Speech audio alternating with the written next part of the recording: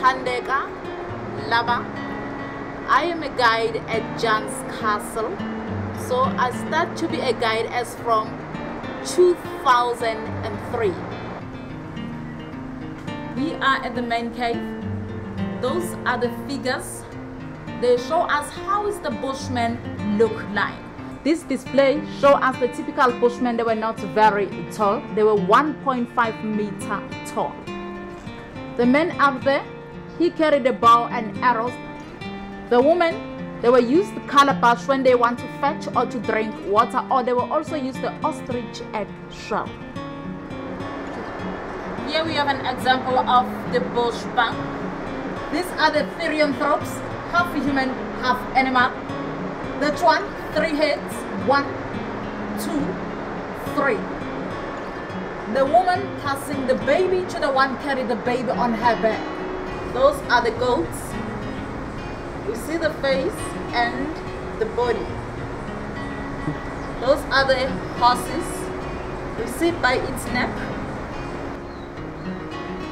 The knobkerrie on the past, the Nguni people, they were used as their weapons. But today, lots of people use it as the walking sticks. Initially, so the San or the Bushmen, they were hunt eland, blesbok, the and other type of bugs, but later they will also have the domestic animal. The six people, they were listening to the shaman or to the Sangoma, what their ancestors tell him so that they can well informed about it. Those people look like other shaman make, doing the trance dance, holding other people's hands.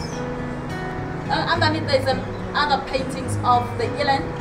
Totally different. It's painted by different people. Three people dancing like the Zulu dance, clap hands, lift leg up. Three hunters, the sea antelope they want to hunt.